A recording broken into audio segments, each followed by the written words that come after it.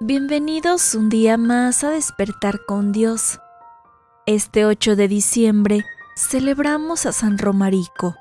A continuación te compartimos algunos detalles sobre su vida.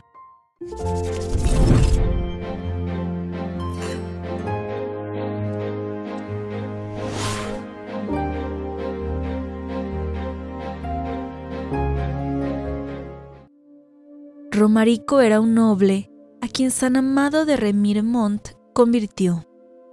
Romarico ingresó en el monasterio de Luxiul y más tarde se trasladó a sus posesiones en los Vosgos, junto con San Amado, y fundó ahí el monasterio que se llamó después Remiremont, es decir, Monte de Romarico.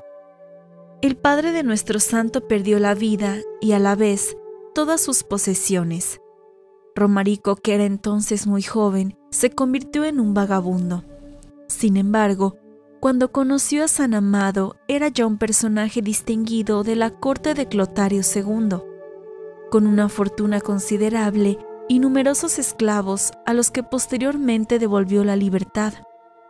Según se cuenta, varios de los libertos recibieron la tonsura, junto con San Romarico, en Luxiul, el monasterio de Remiremont fue fundado en el año 620. El primer abad fue San Amado, pero pronto San Romarico le sucedió en el cargo y lo desempeñó durante 30 años hasta su muerte. Como las comunidades eran muy numerosas, el santo pudo establecer en el monasterio la laus perennis.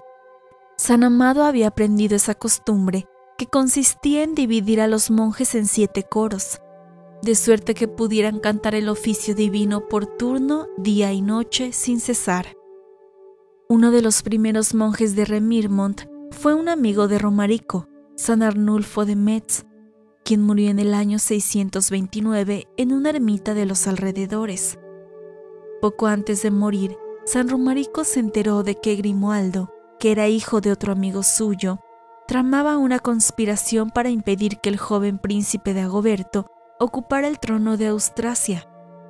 Aunque era ya muy anciano, el santo abad fue a Metz a reprender a Grimoaldo y a los nobles que apoyaban su causa.